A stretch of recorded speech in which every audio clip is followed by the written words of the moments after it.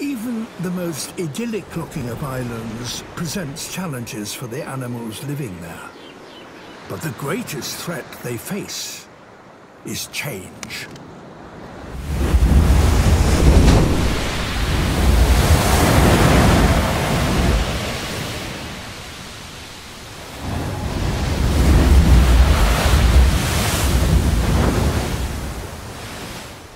Christmas Island in the Indian Ocean. For millions of years, this remote speck of land has been ruled by crabs.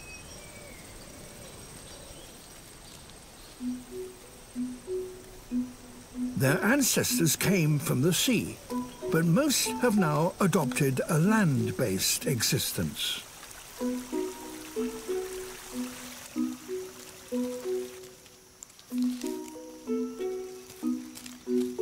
Given there are so many of them, they get along relatively harmoniously. They're the gardeners and caretakers of a tiny crab utopia.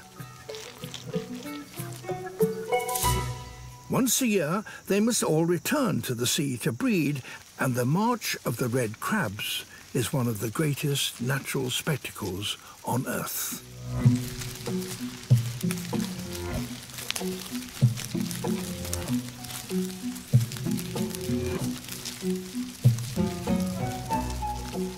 There are 50 million of them.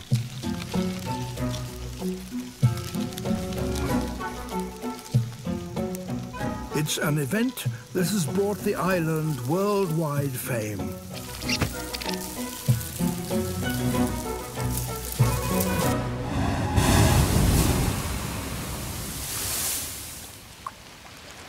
But in recent years, millions of red crabs haven't managed to reach the sea.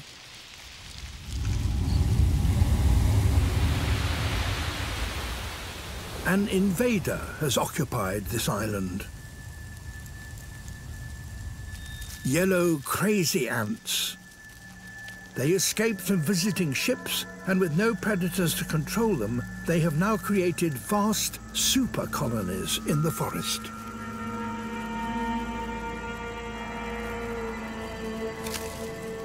When migrating red crabs march into their territory, the ants attack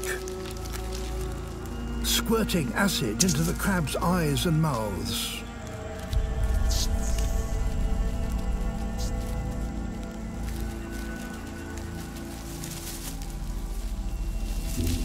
The crabs have no defense. Blinded and confused, they're doomed.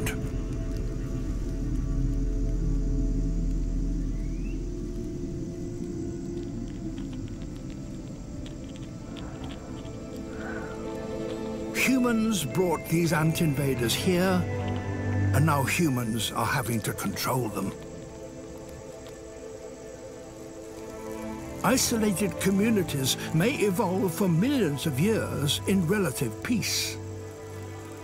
But when new challenges arrive, they can struggle to cope. Of all the species that have become extinct in recent years, around 80% have been islanders.